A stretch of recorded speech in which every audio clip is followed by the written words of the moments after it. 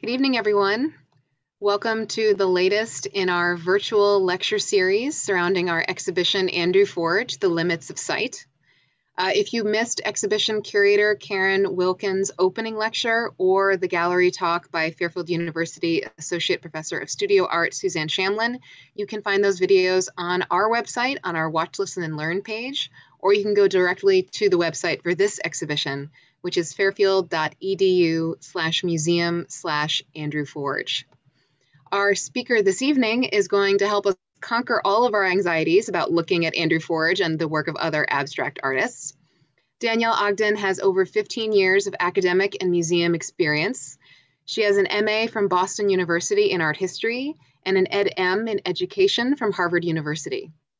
She's currently an adjunct professor at Fairfield University teaching modern art and the history, theory, and practice of museums and she also serves as museum specialist in adult learning at the Aldrich Museum of Contemporary Art. Prior to this, Danielle held uh, positions in education and adult programming at prestigious museums worldwide, including the National Gallery Singapore, the Museum of Modern Art, the Harvard University Art Museums, the Institute of Contemporary Art Boston, the British National Trust, and the Westport Museum of Contemporary Art. So please join me in welcoming Danielle Ogden. Thank you. Thank you, Michelle. Thank you so much for having me. So, what I would like to do is, even though we're virtual, I'd like to start the way I typically begin all my classes. And I would like to ask you to get comfortable, to center yourself, take a few deep breaths in. You can close your eyes if you want to.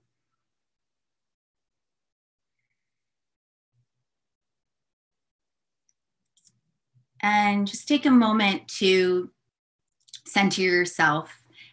So much of this conversation today is going to surround itself around this idea of surrendering to an artwork, but we can't do that if we're not fully present. So I'm asking you to set the intention to engage with the content tonight. A few housekeeping notes the talk will be about 30 under 40 minutes. And I've strategically not incorporated any captions throughout the presentation, but there'll be a reference sheet at the end. So if you'd like to screenshot that, you're welcome to. All right, and we'll get started. So, based on the title of this talk, How to Look at an Abstract Painting, you might anticipate that I'm going to define the movement and share some artists and place abstraction within a historical context in the context of what we call modernity.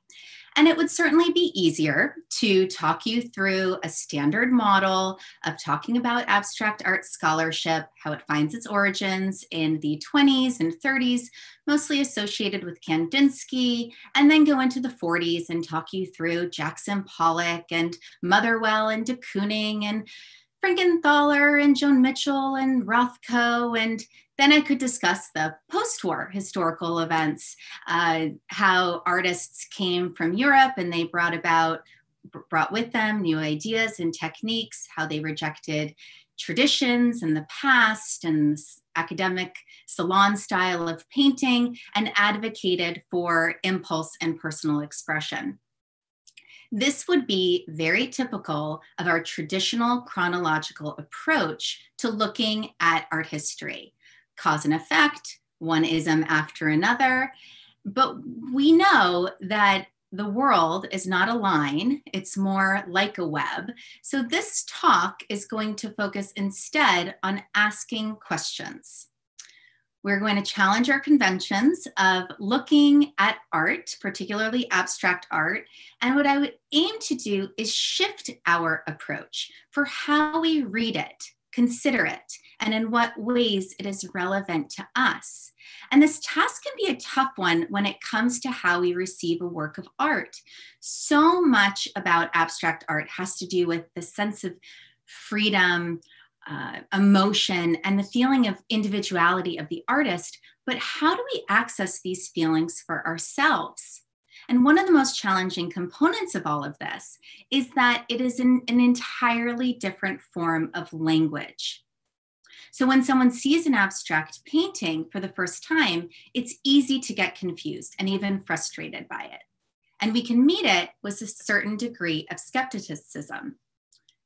And it's often considered the most challenging because it doesn't look like anything we know, or rather, it doesn't convey an accurate representation of what we are accustomed to see. And on top of that, it seems so often that the artists don't give us much of anything. Here I'm showing you an example of Agnes Martin, who was often associated with this notion of painting while turning her back onto the world. And yet, she wanted to envelop viewers with her own personal vision. Well, then, how can abstract art be meaningful to us when it's so challenging to come up with its meaning? And when we are so used to seeing and reading images based on what the subject is, when it's non identifiable, when it's broken down into form and form alone, where do we go from there? So, our agenda today is we are going to discuss why abstract art is so hard to read. Then I hope that this will lay the groundwork for talking about Andrew Forge's exhibition, The Limits of Sight. And then we're going to touch upon this idea of abstract art's relevance. And what I would like to do is frame the talk around a series of questions. What is perception to begin with? Perception is so rooted in this idea of process. And understanding process will be a key component in having us, will lead us to a deeper understanding of how to read an abstract work. Can art communicate feeling purely through material and form? Meaning, just because an abstract work does not have recognizable content, does it still carry content? So just without subject matter, does it still have content? And then what does abstract art allow the artist to do? Can abstract, abstract art bring a visual language to a non-visual subject? And I would argue that just because we are removing the subject matter doesn't mean we are removing its meaning.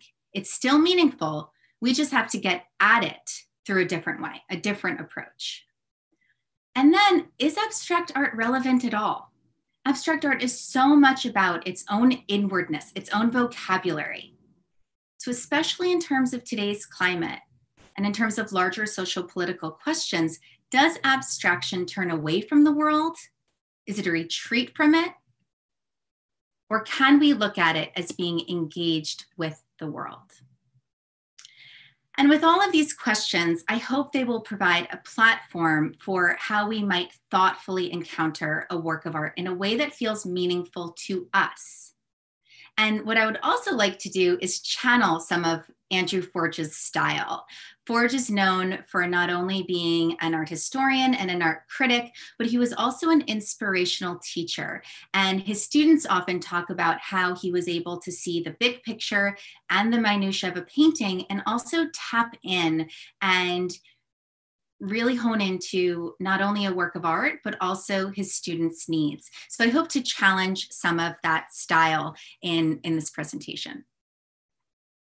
Okay, so why abstract art can be so difficult to read has so much to do with our present ways of looking.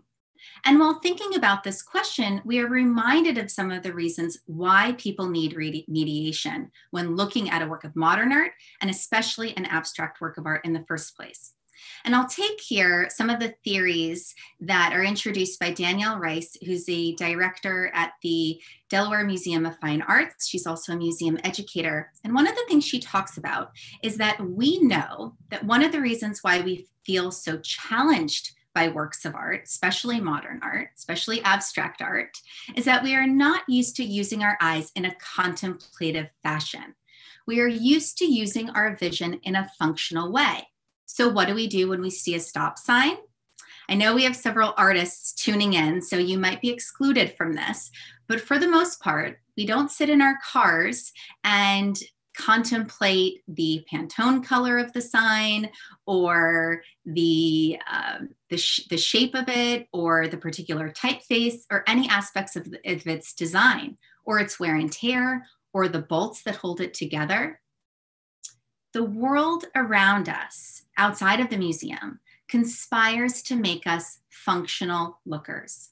And social media platforms like TikTok and Instagram are, devi- de- are designed on an even greater level to enable us to get that immediate satisfaction. So, what do we do? We scroll through our feeds and stories and get quick information and move on to the next story. And there's so much visual information around us that we tend to shut all other things out. We focus on what we need, we get the information, and we move on. So, what happens then when people go into a museum and see something like this? And for many of us, confusion sets in. We clench up. And the most common reaction is a defensive one. And how many of you have gone to a museum and looked at an abstract painting and thought one of the following things? And I'll let you read this to yourself. And I would love for you to help me add to this internal monologue that you might have experienced when seeing a work of abstract art in a museum.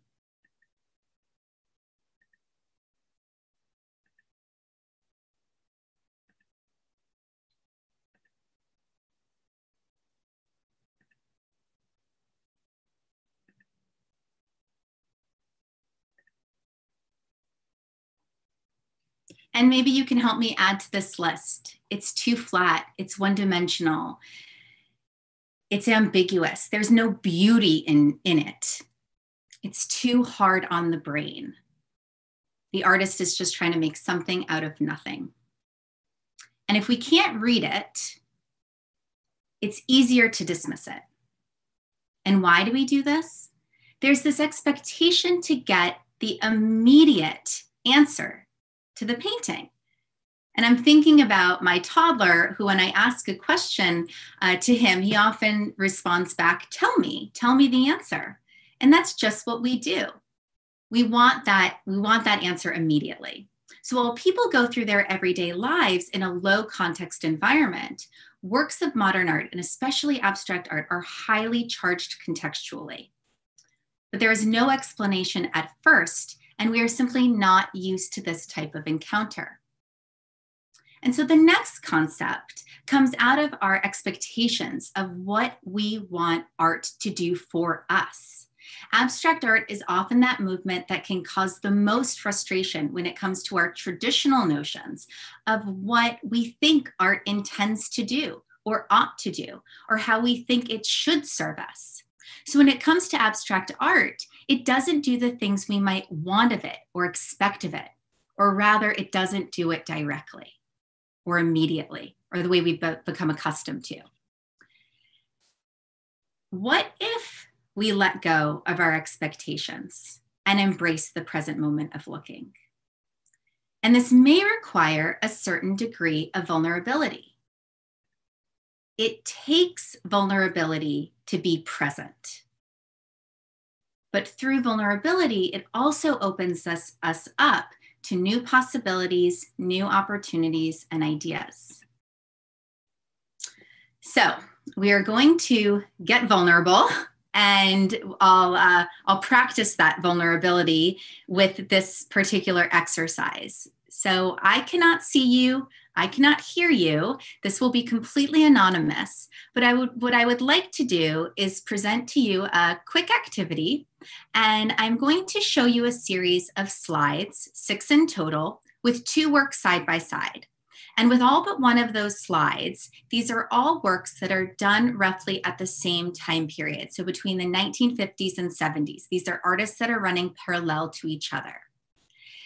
And some of the works are figurative and some of the works are more abstract. And I would like you to do is say out loud if you're drawn to the work on the right or the work on the left. Now remember, I can't hear you, I can't see you.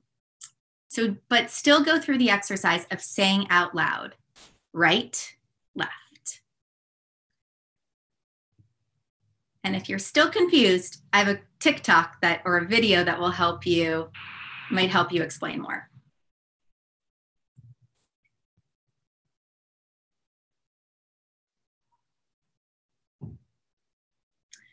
And remember that your reaction to the art is a personal one and it's conditioned by your own background, your own experiences, and they all play a very important role for how you receive a work of art. So give yourself the freedom to react intuitively. All right, here we go. Six slides, six seconds each.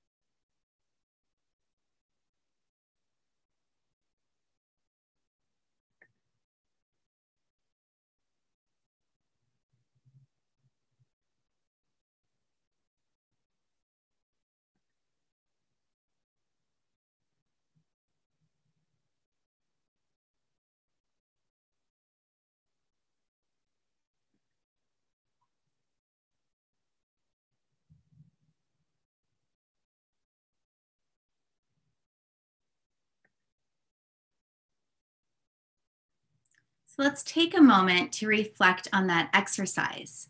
What did you notice? Did you find yourself favoring one of the works over another?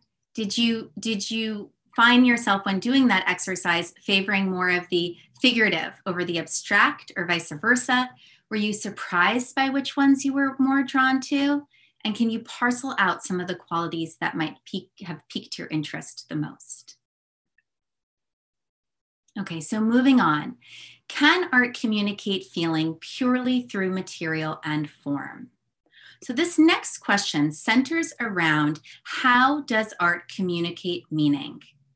Just through material and form alone. And I would like us to spend some time thinking about how we can look at a work of art purely through its visual qualities. How can we read a work well has so much to do with our visual analysis of it. So when we look at a work, a painting like Oath of the Horatii, what we could do is situate it within the works of art that came before it, or the political, social, and economic context in which this work was made. But instead, I want us to think about looking purely through a visual experience. So we're going to focus on what we see and its composition rather than how the work is organized or arranged. So look at this painting purely in terms of its visual elements, in terms of scale, shape, color. And the first thing we could notice when we look at this painting are these very clear details. And you have all of these diagonal lines converging at a central focal point. And what does this technique do for the painting? It helps to unify the composition. We have symmetry, we have proportion, and simplicity. And this creates a sense of strength and unity. This work was painted right around right about right before the French Revolution, where there is still a call for artists to depict virtuous behavior. It's painted in the 1700s, but depicts a story from Roman history. Where Rome is at war with the city state of Alba, the cities decide that instead of going into war, they're going to end the conflict by sending representatives from each city to fight it out. And whoever is left alive is claimed victorious. So to defend Rome, there are the Horatii brothers depicted here. And to defend Alba, there are the Gracii brothers. And here you have the three brothers preparing for battle. They salute their swords held up by their father and pledge to fight to the death. how does form convey a message of structure and control? And when you look at the men giving the oath to their father, their bodies are so rigid. And look at the contrast of the men compared to the women. Look at their form, which is so curvilinear. We can feel their personal anguish as their loved ones embark to battle. And this is a work we can wrap our heads around. Whether we know the context or not, it's didactic, it's easy to read, there's a sense of logic to it. And we often respond best to works of art that are a vessel of communication. And here I'm showing you the prevailing style of the Rococo with Fragonard's The Swing. And here the illusion conveys a narrative. So even though we're looking at a flat surface, we forget that it's paint on canvas. We just see the subject and the illusion of space. The paint becomes invisible and enables us to focus on the subject matter. The swing was commissioned by a Frenchman of the royal court who asked Fragonard to paint him and his mistress with a bishop uh, who's pushing his mistress on a swing, and he hides in the bushes and looks up her dress.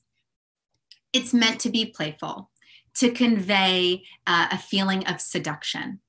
And I would argue here that with this type of imagery, it's easier to ascribe our own narrative to it.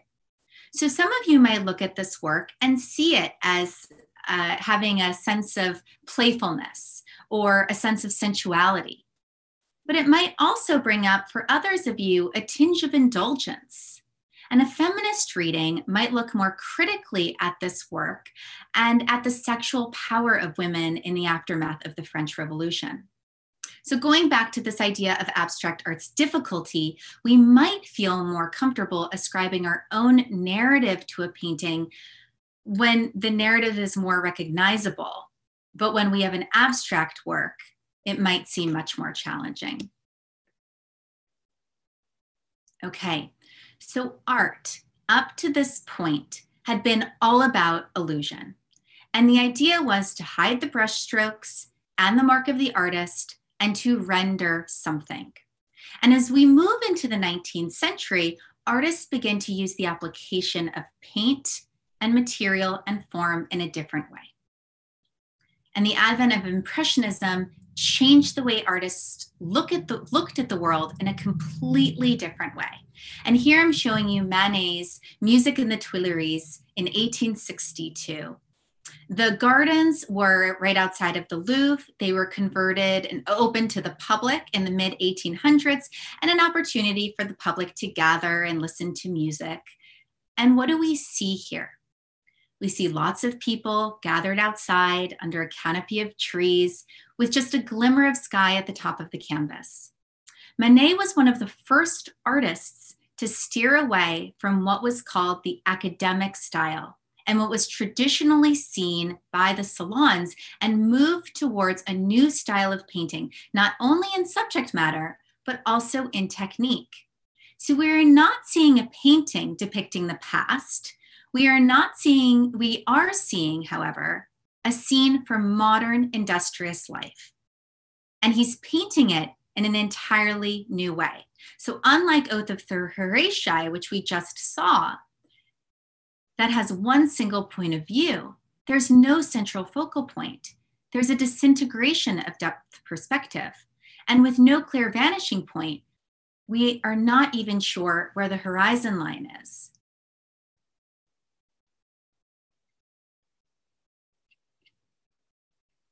I'll just have you look more closely as we zoom in. We can start to appreciate these very loose and gestural styles that Manet is using. And we can also notice the blocky rendering of form in a way that each shape exists in its own space with almost an abrupt transition of color. So in traditional style of painting, you might have more smoother transitions. And here we have these very blocky transitions. And look at this umbrella, for example,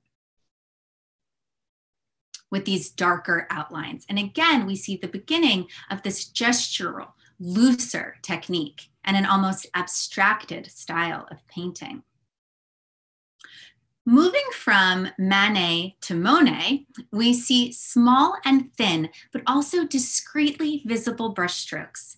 It's very clear that Monet isn't interested in capturing the fine details. He wasn't aiming at perfection. Monet wanted to understand how light and color operate. The forms and the object appear only when the light, when the eye fuses the strokes at a certain distance.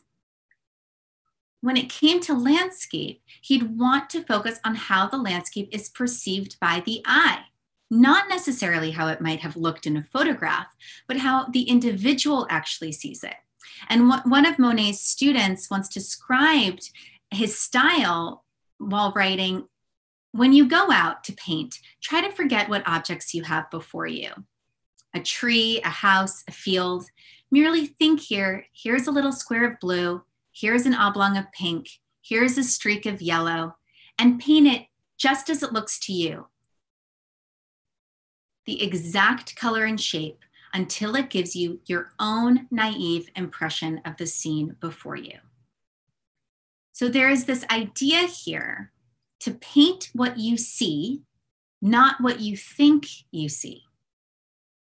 Monet worked on dozens of paintings of a single subject in differing light conditions. And when you look at a Monet painting, you see someone of resounding sensitivity to form and color and light. With the haystacks, the haystacks become secondary, and the emphasis becomes less on subject and more about form. And this is an example of Monet's late works in the 1920s, part of a series of his water lilies, where he's pushing this exploration of color and loose brushstroke, where nothing is clearly defined. And these water lilies are unprecedented in terms of the conventions of landscape painting, lacking a horizon line or path for our eye to travel the Impressionists bring us into an entirely new style of painting, where painting becomes a practice of contemplating the present moment. And Impressionists also help pave the way from restrictions to total freedom. So, with Monet's late works, there's almost a foreshadowing here of the origins of large scale abstract painting. But I would also say that there's this beautiful blending between abstraction and forms that we can recognize. And we will see this with Andrew Forge's style later on in the talk. As we move to the rise of abstraction with Jackson Pollock, we can ask ourselves, what does abstract art allow the artist to do? And one of the things that Pollock was trying to do was capture an experience or experiences. It's not a painting that's telling you a story. It's a record of his experience. So you might be thinking here, like my toddler would, tell me, tell me, tell me its meaning. Uh, and what Pollock, and we can think here, what is Pollock withholding in terms of conventional representations of meaning? With Pollock, there's no scene to grasp onto. He doesn't lead you anywhere. There's no central focal point, no reference. The surface seems so devoid of content and yet it is bursting with energy and movement. What does abstract art allow the artist to do?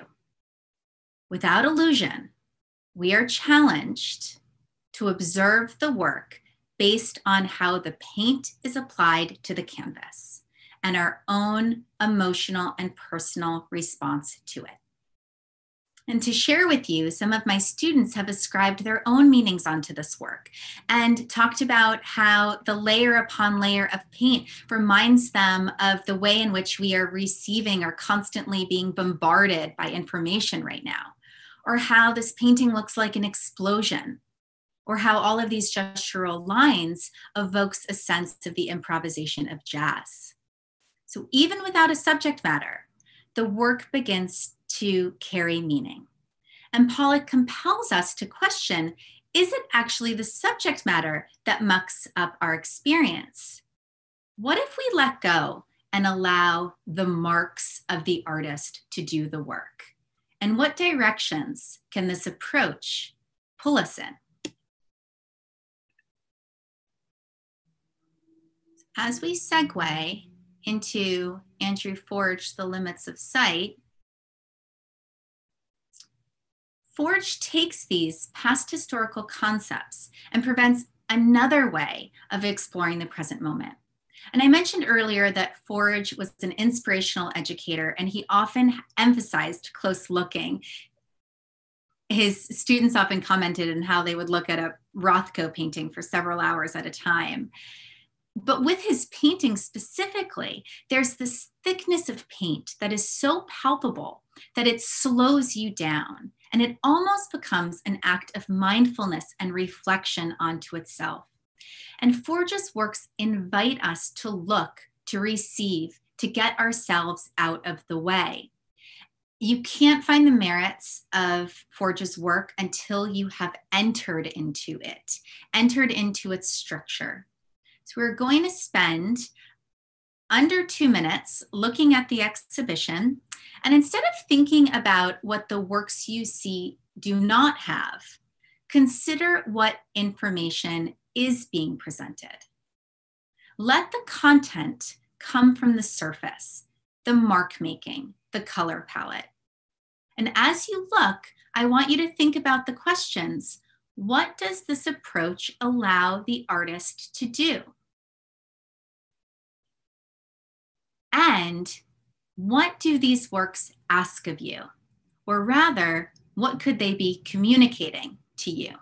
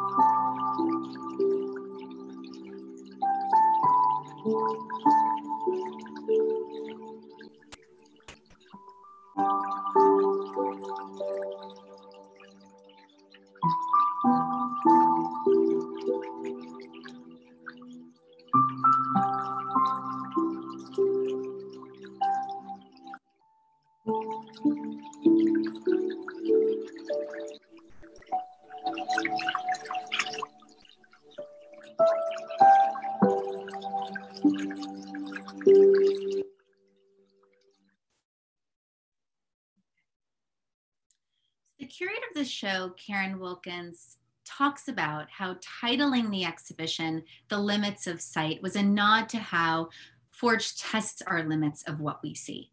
We need to give in to the mood, to the tone, to the feeling that these works conjure up. And they require of us a certain degree of concentration. So, how do we read a Forge? My call to you is to read it intuitively. Let's take a moment to look at Forge's painting Tree of Life.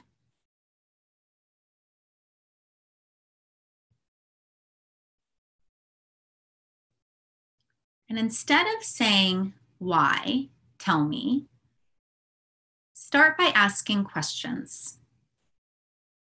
What's my initial reaction? What comes to mind?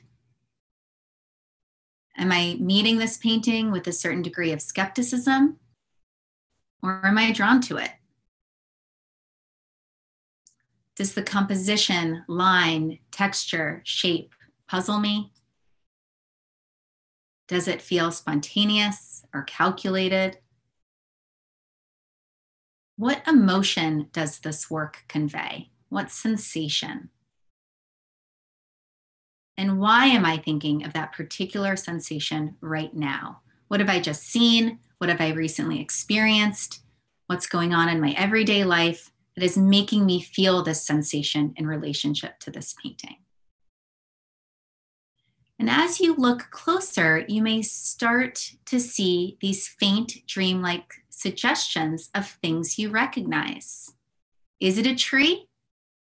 And as you get closer and go back and forth, and this is the one of the benefits of looking at this painting on your screen, things may reveal itself and appear and disappear as you look more closely and for longer periods of time. So, in closing, I want to bring us back to this image of Agnes Martin uh, with this notion of her painting with her back to the world and introduce my last question regarding abstract art's ability to provoke and respond to our contemporary climate. Does abstraction turn away from the world? Is it a retreat from reality? Or can we look at abstract art as being engaged with the world?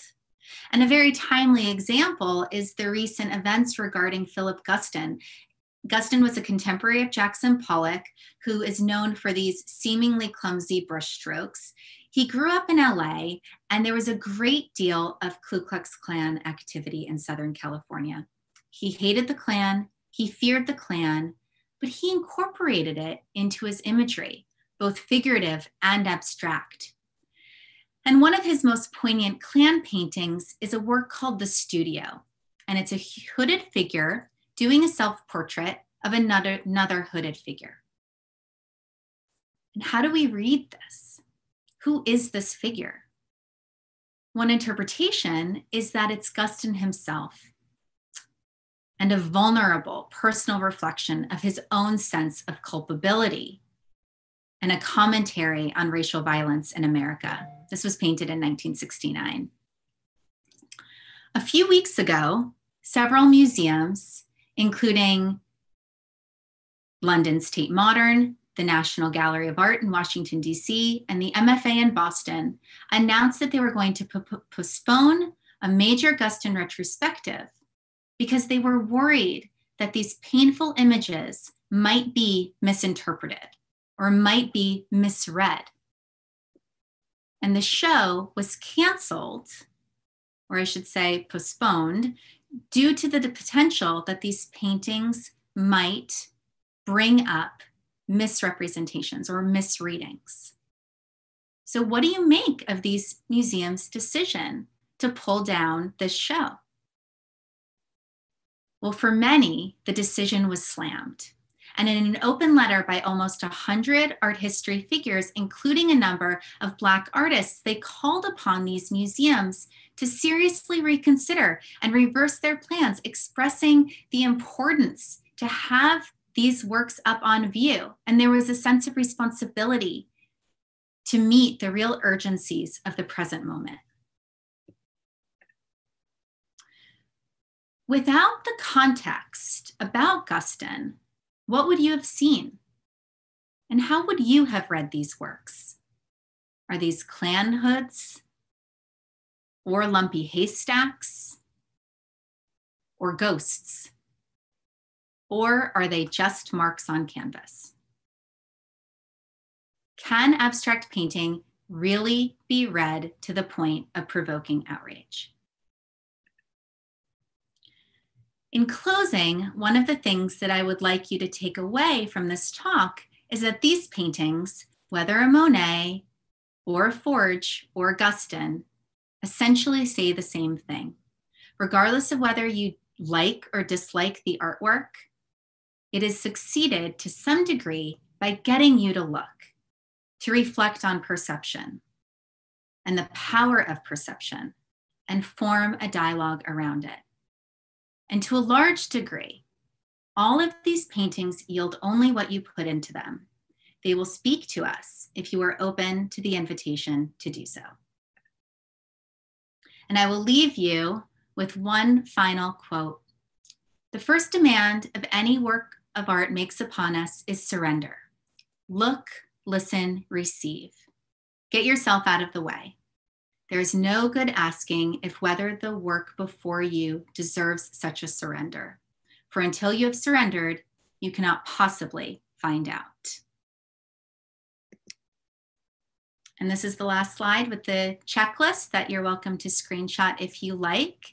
And instead of wrapping up this talk with, uh, with questions, I thought, and I would love if we could open it up as more of a discussion or a chat with any thoughts that you had about any of the particular works or the concepts and what larger questions these talks raised for you. Thank you so much for listening in. And Michelle, I'll hand it over to you. Well, thank you, Danielle, for that very stimulating and engaging talk. And we do have some questions and observations that have been coming in on thequicklive.com. Uh, two of them, there are two separate ones, but from I think the same person, Una. So I'm going to put them together. Okay. Um, she said first that faced with a Pollock like that, I feel overwhelmed. How do I start to digest this? And then she added, Is it normal that abstract art is presented without frames? Oh, that's an two excellent questions. Thank you, Una. The, that feeling of I feel overwhelmed. That's a beautiful reading and interpretation of Pollock's work. I would say that Pollock felt overwhelmed. He's painting, he's painting this right around the time of the atomic bomb. It's this is this particular work is called lavender mist in the 1950s the world is changing there's new information new technology we're right at uh, two major world wars and the time period is so overwhelming it is so apropos to our pandemic our feeling of confusion and it's a very real reflection or sensation of this work that I feel that uh, Pollock had himself most likely, both personally and in terms of the cultural context. And then in turn, what was the second question, Michelle? Is it normal that um, abstract art is presented without frames? Okay, uh, there's two there's two components of that question. One, uh, modern art that off it, it depends from one work to the next and one artist to the next so if you're looking at a miro or a magritte that those works are often could be framed. Mark, Mark Rothko, who was a, a, later abstract painter, he tended not to frame his works. And I would say that contemporary artists who are working in abstraction often tend not to frame their work, but it's, it's always subjective. And Susan shared that she said, I used to say those things. Why is this in a museum? A child could do this, etc. Until I read Kandinsky, it changed the view I had about abstract painting. So, do you recommend people going to the source to get a sense of what the artists themselves might have to say? Would that help us approach the art in a different way? Yes, I love that, Susan. So Susan's uh, making a reference to, um, hopefully I'm saying this right, Kandinsky's the on spirituality and art, but Kandinsky looked quite a bit on the relationship between art and spirituality and art and music and art and synesthesia and all of these connections and it's a it's a really beautiful way that we can tap into the work and it, it's also pointing to this very particular moment that makes modern art modern art that where david or fragonard we don't have we know david's political standpoint at the time that he was making oath of the horatii but for the most part he doesn't we don't have these artists talking about why they're painting.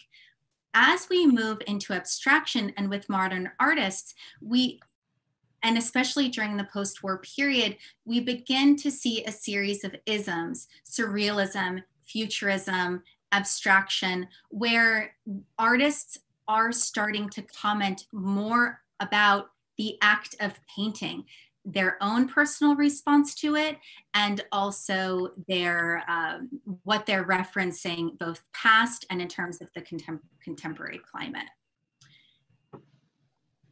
so Gregory is taking us to a little bit of that broad view, and he points out that um, in his perspective, Indian art, although it is representational, he says, I find it very frustrating because I simply do not know much of anything about it. So the problem is not unique to abstract art. So do you have guidance for people who are overwhelmed by looking at other forms of art they're unfamiliar with?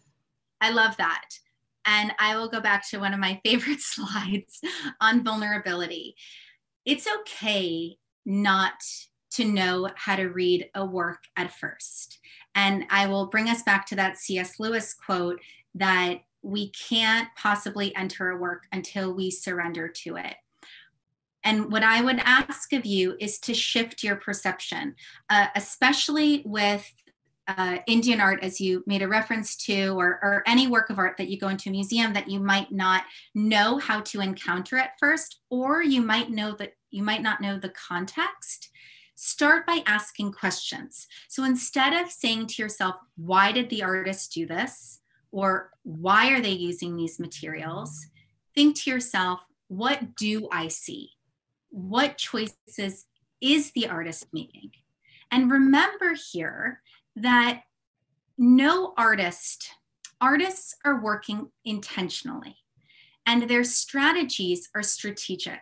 So even though they are leaving things out, that is often a very conscious choice most important thing to remember about abstract artists in particular is that for many of them, they all come from an academic style of painting. They know how to draw, they know technique, and it takes courage to uh, break away from that and to experiment with new, new styles and go towards complete freedom. So, what look at what you do see. And again, go back to that idea of a visual analysis. What can you pull from the meaning based on what the artist is including? So look at the materials, the form, and what you do see. And if you and if you're looking at what you're seeing directly in the work and then looking at how thinking about how you're responding to it, that will hopefully help you uh, come to a deeper reading of it. So this uh, might dovetail very nicely with what Linda uh, contributed. She said she doesn't have a question, but a profound quote from Josef Albers, art is not an object, it is an experience. I love. and also we have Suzanne who comments, uh, the emotional response is immediate, but I like the intellectual response more. I mm. believe that the experience of art is threefold, the artist, the artwork, and the viewer. I am more drawn to abstract art because it requires the viewer to be present to have a response. I love that. I love that trifecta. And uh, this this is especially true of modern art and contemporary art is like it or not it asks more of you it requires us to question the act of making art the mark making of the artist the experience of the artist during the act of making it and also our own reaction to it. So it requires more work, but it, it can really lead, as we've talked about, uh, to new possibilities and meaning and a deeper encounter, a more meaningful experience with the work of art. And I, I, I love the combination of those three. That's really, really a wonderful insight. Thank you. Uh, Karen shares with us that what this has meant to me is that I need to shed my concern about what others expect me to think about a piece of art and let myself go and experience and interpret it the way that it's most meaningful to me. That freedom allows me to experience the work from my own perspective. Yes, that's great. Uh, and the the museum educator in me is thinks so much about how modern art and, and museums can tend to feel so exclusive and so elitist. And the most important thing that we can do is just have a little bit of, of humor when looking at a work of art and, and by taking it a little bit less seriously and embracing it for what it is, it'll perhaps help us with a, um, a more a, a more lighthearted reaction reaction to it. Since you mentioned galleries being a little elitist, I think one of the points made in that letter, the Philip Guston letter that you brought up, was that you know museums should trust their viewers, their visitors, a little bit more. And Mary Alice asks, uh, she says, "Thanks for bringing in the postponing of the Guston exhibit," and she wonders if you know where that stands right now after the letter. Oh, that's really interesting. I don't know where that stands, but I have no doubt that these museums are are responding to this call. It it also brings up perhaps this is a, a talk for another time michelle um, but it also brings up a completely different topic around how museums are in this new era of no longer working in isolation or just putting works up subjectively they're really being required now more than ever to respond to public need. And the public is being more aggressive than ever to to make sure that museums are meeting the demands of its constituencies. So i i will have to look into that more. I don't know the answer but i have no doubt that these museums are are hopefully being challenged by the challenge the challenge that's being called upon them as we have two questions which are a little bit related um, about sort of how museums provide the sort of mediation between the art and the viewer. Uh, so Pam asks, is your feeling that we should experience the art first and then read about how it was created? Sometimes understanding how an exhibit came to be gives the pictures more meaning. And Fred asks, would you encourage museums not to place descriptive labels? Oh, that's such a good question again, maybe a topic for a whole different talk, but all of these questions come around the idea of didactics, which means the interpretive materials around the works of art. And, and I can't help but mentioning that the most commonly read didactic or interpretive material in a museum for all demographics is the children's guide. So adult viewers tend to look at the kids activity guide over the label or over the introductory wall text of a museum. And i think that that's so interesting in terms of what a viewer might uh, might be looking for when they go into a museum. I have to admit that i am a contextualist. I am hungry and starved for uh, more content and more meaning, I tend to go look at the label first. Um, and this is so I am practicing what I preach in this talk where I it's so easy for me to go to the context. So I, I have to actively practice looking at the work of art directly, taking it in, and then layering it with meaning. And the best practices that I've seen in museums when museum educators are facilitating conversations is having the viewer look closely, discuss collaboratively with the group what they see, and then build information. I'm also not advocating entirely to just let the work be as it is. I feel that context is really important and can really add some beautiful layers. So I would never want to exclude it. And I do feel, especially um, where there are so many more voices that museums have a responsibility to incorporate into museum texts and objects, that I would say that now more than ever, there are great opportunities for museums and they should be called upon more to incorporate context when necessary or when it might shed some more light on uh, on the work for the audience. Well, taking taking it back a little bit to Andrew Forge, uh, Hannah just wanted to share that Andrew Forge is a wonderful colorist. His colors are magnificent and gorgeous, so rich. And I wanted to link that to a question um, shared by Mariano, who says, "Is it possible to establish a difference between abstract painters with and without a goal when painting. This would mean that we can't find anything in the latter's paintings. And I wonder where you think Andrew Forge might fall in that um, division that Mariano just suggested.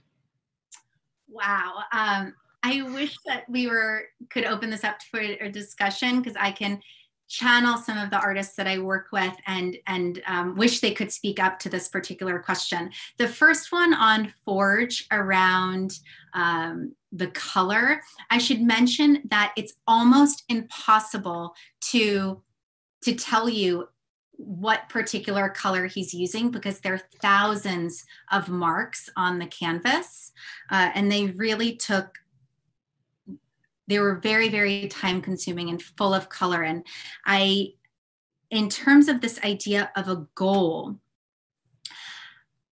forge is a, a particularly relevant for that question because he's so rooted in and in the academic world. There is a, a recent publication that came out on Forge's it's called observation notation where he write he he wrote about monet and duchamp and rauschenberg. And he has all of these artists in mind and yet he's doing something entirely new. So i feel as if even though art, artists especially abstract artists especially abstract artists today that are looking towards this goal of total freedom they still have as a reference point even subconsciously artists and their everyday life and their everyday experiences. And yet I think they're they try to push that away as they work towards complete freedom. And and i should mention that it, it takes courage to do that. It takes courage to do something completely new. I i ha, i i feel as if forge sits somewhere in the middle of that where there there are a lot of references i see a lot of monet and the impressionists in his painting but he's also uh, working towards the idea of letting intuition guide him. So I I would say that the goal even if the goal itself is total freedom of expression, there's still a goal there. So we're just about at the end of our time, but we've had a couple of requests in the chat for you to just go back over the questions that people can ask themselves when confronting an abstract work of art for the first time. So maybe you could just walk us through those one more time before we call it an evening. Sure, I would love to. So, first and foremost, what is perception? And that relates a lot to this idea of allowing yourself the freedom to just remember that we don't go through our everyday lives in this highly charged contextual environment. Remember that we are glued to our phones, there's a lot going on. And so we remember that perception, visual perception, is a process, it's a practice. How can art communicate feeling purely through material and form? This, or can art communicate feeling purely through material and form? This goes back to this idea that just because there's not a narrative or an illusion that is easily recognizable, can we just look at the surface of the painting and what meaning is rendered just through that? What does abstract art allow the artist to do? This is a really challenging question and it, it is always open-ended for, for every work of art. But I would urge you to think about if an artist is excluding something, what are they strategically including? And then is abstraction relevant? And I would say that that has two components. Is it relevant to us and our inner reality? And how is it relevant to larger political and social questions? Great. Well, thank you so much, Danielle. You've given us so much to think about. And thank you, everyone who tuned in. We'll look forward to seeing you next time. Thank you so much, Michelle.